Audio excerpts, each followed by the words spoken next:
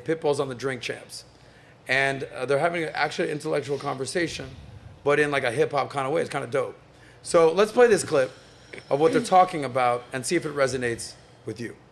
Volumen. Out of the Bible, one of the most famous stories is what? It's Adam and Eve. What did Eve bite? She bit the apple. Look at the logo on your fucking phones. It's a bitten apple. So therefore, everybody biting that bitch right now. You know what I said on the rhyme? I said most people holding their phones, two hands holding your phone. It's like you pray to it.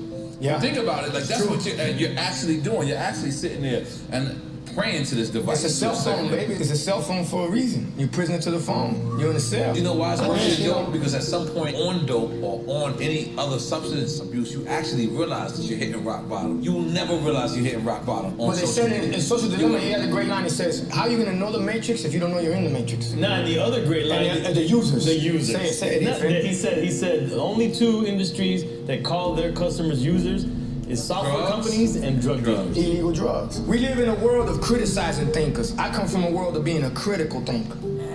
I like to listen, I like to look at shit, break it down, and then so when someone get to talking shit, you go, okay, that's cool. I appreciate that, and I acknowledge your opinion, but what about this? Cool. There's a lot that they covered right there. Actually, I thought that was yeah. pretty good. I'm gonna come to you first because obviously, um, what stuck out the most to you, other than uh, Drug users. the drug use? No, I didn't Yeah, say that. look at the. What stuck out the most to you? I mean, look at the building blocks of life. The Adam and Eve is an A T O M Adam. The hmm. building blocks of life. Everywhere you look, you see Genesis. They literally every ambulance symbol and paramedic is the serpent on the staff. Everywhere you look, the Bible's inverted.